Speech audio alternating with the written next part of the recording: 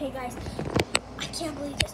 My brother just got his butt destroyed. Like, I think he might be bleeding. I'm not even sure. I heard the cries. Those were when You're next.